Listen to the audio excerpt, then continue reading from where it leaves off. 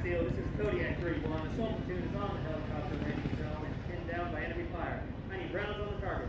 Repeat target alpha number Charlie 1000. Kodiak 3-1, this is Spartan Steel, roger.